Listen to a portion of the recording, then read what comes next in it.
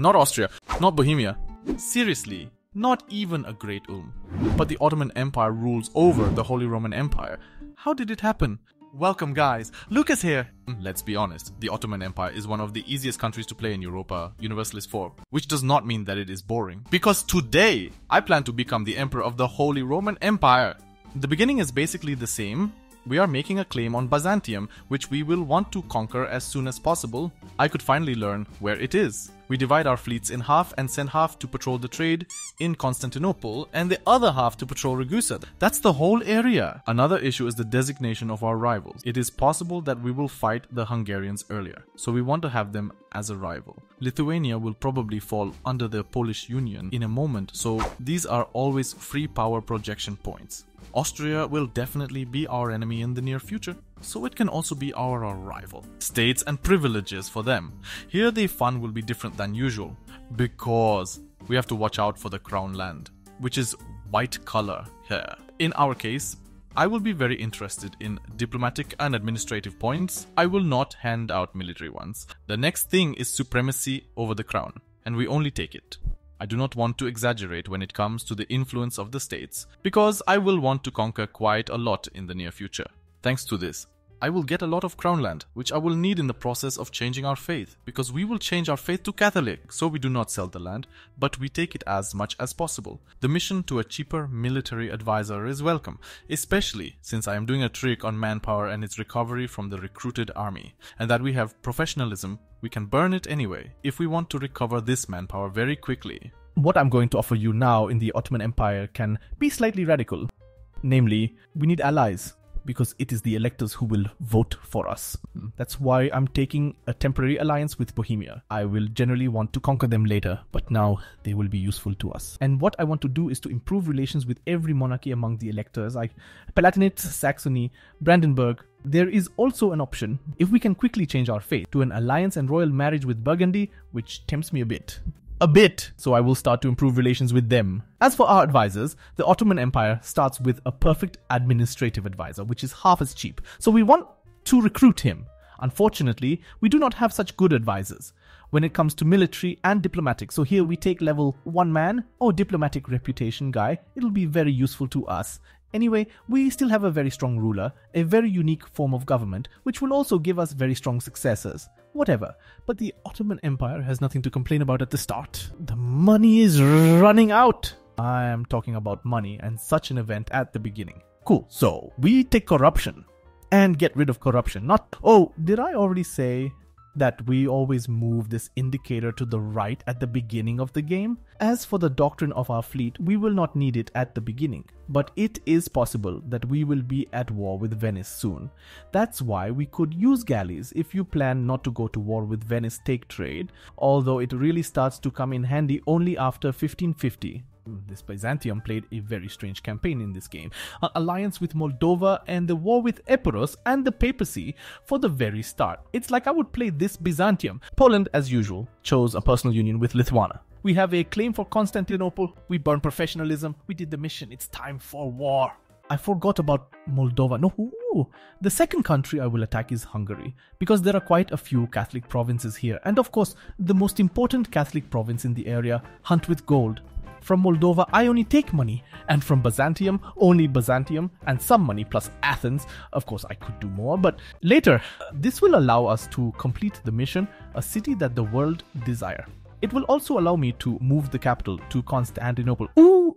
I think I cheated Epirus. Look, the Pope got a black flag, but this battle is equal. I, on the other hand, I am now taking an alliance with the Burgundians and Palatinate. I think I said the name of this country well for the first time. I forgot that I had to withdraw the warranty on Ragusa. Um, what do I need it for? No, Kaffa and Azov are our provinces. After all, Ottoman, the first conquest, and I increased our crown lands by 6%.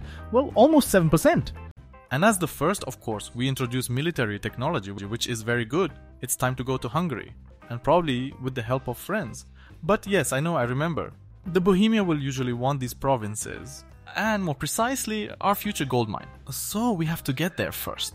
By the way, I am also attacking Serbia because I will want to get Kosovo from them. Of course! Our allies are bravely fulfilling their duties. They are using all manpower of the Austrians and Hungarians. I like it very much. In the meantime, our diplomacy is working hard. So that you know, the Catholic countries somehow did not get scared of this Ottoman threat that is coming. I take the following provinces from the Serbs, as long as Venice does not conquer them. After Herzegovina, maybe, mm, plus money. Oh, I can call Burgundy to this war, why not? No way, the Ottoman army 200 years too early near Vienna. So let's burn it! To put it bluntly, the Bohemia have a little bit of a problem, but I will not help them. Here are the treacherous Bohemians. They came out of the my war. I don't know why. Okay, let's humiliate Austria for now and take money reparation from them. We'll take care of it for good in future. And I take the following lands. Why in this way? Because I like such a nice circle around this province and I can take money and so on. We do not care about aggressive expansion. We will sit on our asses and do nothing for about 15 years. Really, this is part of the tactics. Uh, we add well, maybe apart from this province, because I took this one for a simple reason. I will release a vassal here. Where is Samvarat? We deleted here too. I also conquered this province for a very simple, different reason. Here is gold. And in fact, here are the Catholics. Here are the Catholics. Look, a Catholic is standing here. Okay, we need them. When the rebels appear, they like to fly in a straight line straight to our capital. That is, somewhere here they should fly in this way. But it's not always like that. Sometimes they go in a circle. Okay, and since we have already gathered the Catholics for the first time, now what we have to do is change our diplomatic attitude because we will need a lot of these points and as soon as possible. Wow, okay, let's make a vassal of them. Aha, uh-huh, reform, so I think we will reach our nobility's pocket, especially since we will weaken it. And we will take tax revenues. They probably give us a lot, at least for now. Taxes are cool, especially if they pay for you. Okay, give me this gold here, I want more gold now. But why you lower my taxes? Burgundy lost the war with France, but I don't think it lost anything. Probably. And Philip III is still alive. Wow. And now I'm waiting for one thing. Until this modifier called separatism falls below the threshold of active missionary, then these nationalist revolts will turn into religious revolts. So I still have to wait half a point per year, oh mother math, long, at the same time. You know, we can't conquer too much because I don't know if you know how it works to convert a given country into a needed religion. Simply, this religion in a given country must be more than 50%, unless it is from a religious group. So, you know, a religious group is something like Christians, Catholics, Orthodox, Hussites, and here are the Copts. This is a religious group. In the case of a religious group, it is quite easy to change religion but at the moment, when we change outside the group, we must have more than 50% of the religion in the country, or it must be a dominant religion, so it must be the most. I never remember. For me, the religion that dominates me is Sunniism. It is a national religion, so yes, yes, I have to have more Catholics. At the moment, Sunnis are 42%, Catholics are 11%. And you know, I have to have more Catholics than these types, so I can't conquer the Sunni provinces. But I think I could conquer Orthodox provinces. So maybe for entertainment, I will crush the rebels. Oh, I remembered about this privileged strong duchies. We'll take it because I see a certain opportunity here. I even said a very big opportunity. I know Ottoman and vassals are a very strange solution, but sometimes it is useful. And we have a vassal, as they say, from love to hatred. One step the first development of the era. And I will be honest, I am strongly considering an aggressive expansion, possibly the transfer of the vassals, but good for Ottoman. This is the most important. Bigger guns. Yes, I love this son much more than that. The future of patriarchy. What patriarchy? No, in today's times, as you know, patriarchy is not much, right? Let's be modern. Okay, the basic trade is more or less done, but let's expand the city center of Constantinople. Only two more years and this separatist will be lower. I don't know what happened, but Austria somehow lost all the imperial authority points, did not carry out any reforms. No, the woman is not the successor. What did they spend it on? The first idea we choose for the Ottoman Empire is a diplomatic idea, but this time not because we want to conquer more. True, we will conquer a lot, but later. We need a diplomatic reputation and relations. A very good combination for diplomats are humanistic ideas that allow you to reduce aggressive expansion very quickly, which will also make you have a very stable country. And then choose offensive ones, which will allow you to boost your army even faster. A very good combination, and additionally shorten the period of separatism and stability in your country. I mean, you will have a more stable country, not a less stable country. You know what I mean. Oh, here, look at the humanistic ideas. And ladies and gentlemen, we have Catholic zealots in this province, so let's delete this fortress right away. In addition, to speed up this whole process, I took autonomy. I kept it for this moment, it increased the tension by 10 points. And of course, we don't want to convert this province, so keep missionary maintenance down. All in all, I took the Defenders of Faith and started converting also in the province next door. Because why not? In this province, this is the province next door, not this one. And here we have to be very careful. Namely, if we see that, I don't know, Hungarian separatists who are in this region are starting to break through the Catholics, we have to delay them. I mean, delay, not provoke. Oh, let's introduce a Renaissance. And thanks to that, we introduce crystals in Constantinople. Again! I always get this event here, in every country if I can. This is too strong an economic bonus. Nice, Catholics grow strong for us quickly. But why? No? Well, fortunately, we have the army right next door. Let's crowd the rebels in that case.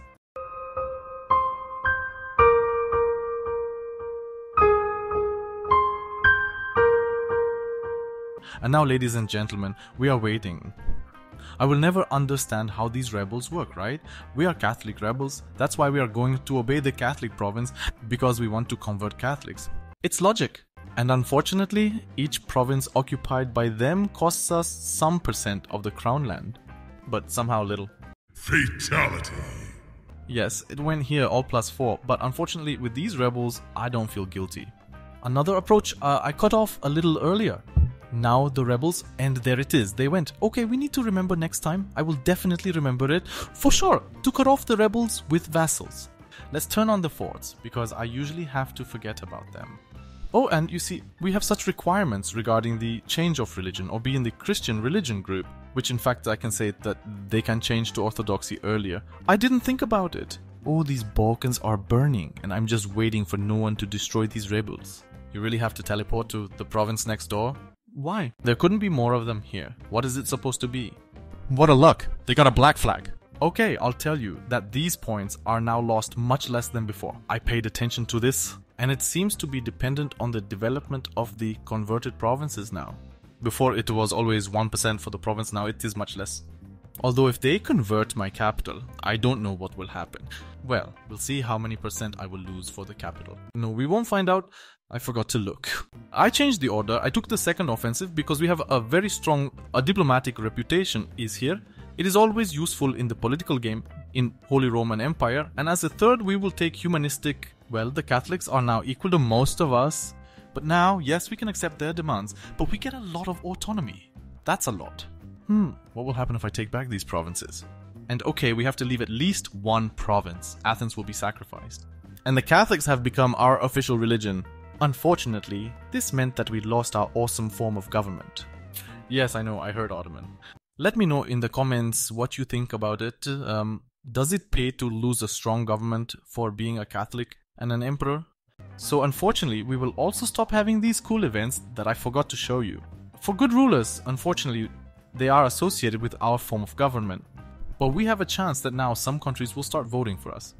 And now they vote for the Bohemia. But why? Here, especially for this, I kept this mission for diplomatic reputation. Well, we already have two votes. And I have more land than I had? Why? Let's take the standard privileges now. Ah, prestige is a problem. We need prestige. It's time for Poland and it humiliation. it's like the Prussian army, yes, beaten, but the prestige is mine. It's just a pity that there is so little of it. He tempts me to take the Bohemia in the personal union. It tempts me. You are 25 years old. It's legal. Two electors vote for us, and unfortunately, two for Austria. We have to convince the Bohemia somehow. Will we need more prestige? Pauls, I'm coming. This will be a good battle. But why did they get so much prestige and I nothing? Oh no, I got it. They didn't get it. They got a military tradition. We'll hire an advisor on another battle. Prestige. And another prestige. In the same place. Such a good minister. Well, let him give us prestige. And three votes for me right away. Well, we have to wait for the emperor to die now? Probably from old age. At some point, for sure. The Polish army is over. We are withdrawing from this war. Oh, they are four electors vote for us already because prestige on the plus? I don't believe it. I keep wondering why I can't make it up. Guess what I forgot to raise? A great war for dominance in the Empire. because I really had to start the war so that the electors would stand on my side in this war, and not on the Emperor's side. Then, as if to say, they don't like him and vote for me more willingly. Well, I really like this event now.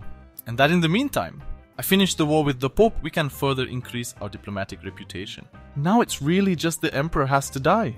Finally, I am the Emperor of the Holy Roman Empire, and I have no reforms. In 1486, it will be a massacre. For example, now Teutonic Order joins us to the Empire, only he is a bit small, but always something. Now that I have integrated Transylvania, I can join the Holy Roman Empire, which means that the electors will vote for me more willingly, and we will practically not lose the position of the Emperor. Oh, I can also carry out the first reform. How nice. So we are the Emperor. If you liked what I presented to you here in this episode, remember to leave a subscription because then you will come for the next episodes, I hope. And what am I going to do next? I will honestly say that now I would like to carry out reforms as soon as possible, up to proclaim ek bisterom, or however you pronounce it. And you know what is the best? I would restore the Sunni religion to the Ottoman Empire. That's why I will not continue to convert these provinces. However, in order to carry out reforms quickly, we must conquer Prague from the Bohemia. Here is a very powerful monument. Then I would play in Breaking Poland, in Breaking France, and the smaller countries released. It would slowly join the Holy Roman Empire. If you want to see the continuation of this episode, of course, let me know in the comment.